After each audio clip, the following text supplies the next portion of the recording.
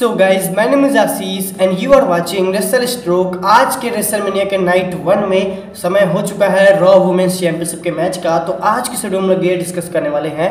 लेकिन उससे पहले चैनल पे पहली बार मीट कर रहे हो तो सब्सक्राइब करना। नोटिफिकेशन पे ऑल पे शेयर ज़रूर कर दीजिएगा। चलिए सेलिब्रिटी को शुरू करते हैं। वेल well गाइज़ आज के रेसलमेनिया के नाइट वन में अभी हमें रॉ वुमेंस चैंपियनशिप का मैच का टाइम हो चुका है, जहाँ पे अभी मतलब मैच अनाउंस हो चुका है। जैसे आपको मालूम होगा ना कि ग्राफिक्स दिखाया जाता है ग्राफिक्स से ये हमें पता चलता है कि ये मैच होने वाला है। अभी तक दोनों सुपरस्टार में से किसी का एंट्रेंस नहीं हुआ है। तब तक हम लोग थोड़ा फ्लैशबैक में चले जाते हैं कि इनकी रेवलिटी कैसे स्टार्ट होती है।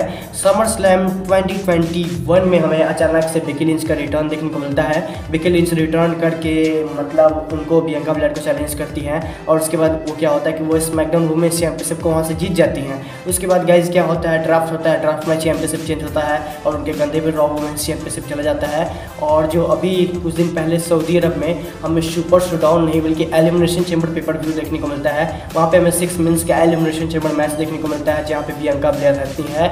और डू ड्रॉप रहती है लिप मॉर्गन रहती है, काफ़ी सारे सुपरस्टार रहती हैं, उसमें रिया रिप्ली भी रहती हैं तो उस मैच को और कोई नहीं। बल्कि जो हमारी प्रियंका प्लेयर हैं, वो जीतती हैं। और उसके बाद आपको मालूम होगा कि वो वाला जो वुमेंस का एलिमिनेशन चैम्बर मैच था।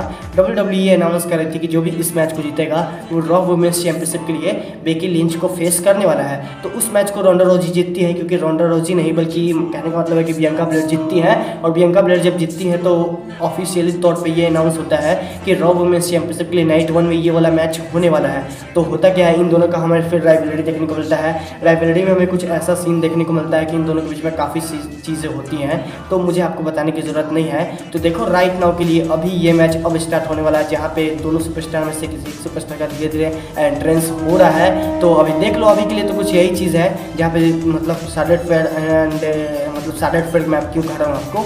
बियंका ब्लेयर का एंड बेकी लिंच में से मतलब एंट्रेंस हो रहा है और एंट्रेंस के बाद हो सकता है कि फिर बेकी लिंच आएँगी। बेकी लिंच के बाद हमें इन दोनों का देखने को मिलेगा और हो सकता है कि इन दोनों के बीच में अब हमें मैच भी काफ़ी अच्छा देखने को मिल सकता है। तो देखो, आज के लिए रेसलमेनिया के थर्टी एट के नाइट वन में रॉ वुमेंस चैंपियनशिप का मैच का टाइम हो चुका है और कुछ प्रकार से इनकी राइवलरी की बिल्डअप बनी है, जो कि मैंने आपको इस वीडियो में शेयर कर दिया। बाकी जाओ कमेंट सेक्शन आपके लिए फ्री है। आप मुझे जाकर बता सकते हो कि आपको क्या कहना है। लेकिन देखो, अभी तक एक ही सुपरस्टार का एंट्रेंस हुआ है इसलिए मैं आपको, मैं नहीं बता रहा हूँ कि क्या क्या हो रहा है। लेकिन देखो, अभी के लिए तो कुछ यही चीज़ है और कुछ इस प्रकार से डब्ल्यू डब्ल्यू इस वाले डाइव को बिल्डअप बनाती है।